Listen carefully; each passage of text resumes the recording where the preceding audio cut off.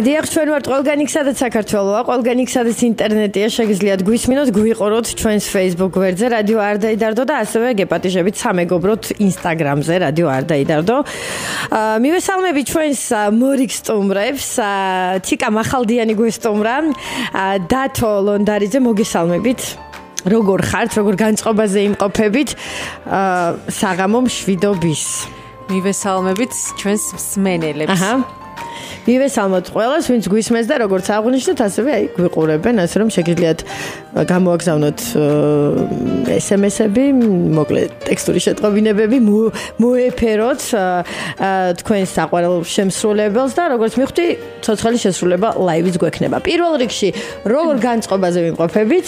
შვენიერ განწყობაზე ვართ, როგორც ყოველთვის.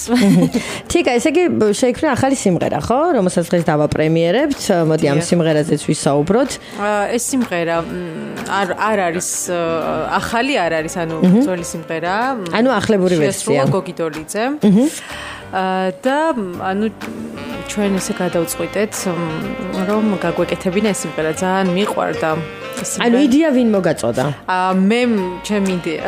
ანუ გიყვარს ეს სიმღერა და გადაწყვეტა რომ სულ მინდოდა რაღაცა ეს სიმღერა რომ მემღერა და რომ მოვასმენინე ბატონ დავითს, მასაც ძალიან მოეწონა და გადავწყვიტეთ რომ ერთობლივად ანუ ეს არის დუეტი?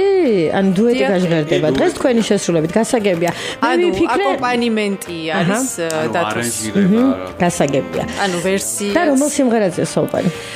ეს არის ეკათეოზაძის სიმღერა შევცდიქვია. შევცდიკი ვიცი ეს სიმღერა მომწონს ძალიან მიყვარს და საინტერესო ახლებური ვერსია ამ სიმღერის. აა რომელ სტუდიაში დამზადა? დავით უქრეხელიძის სტუდიაში. აჰა. მადლობა მას.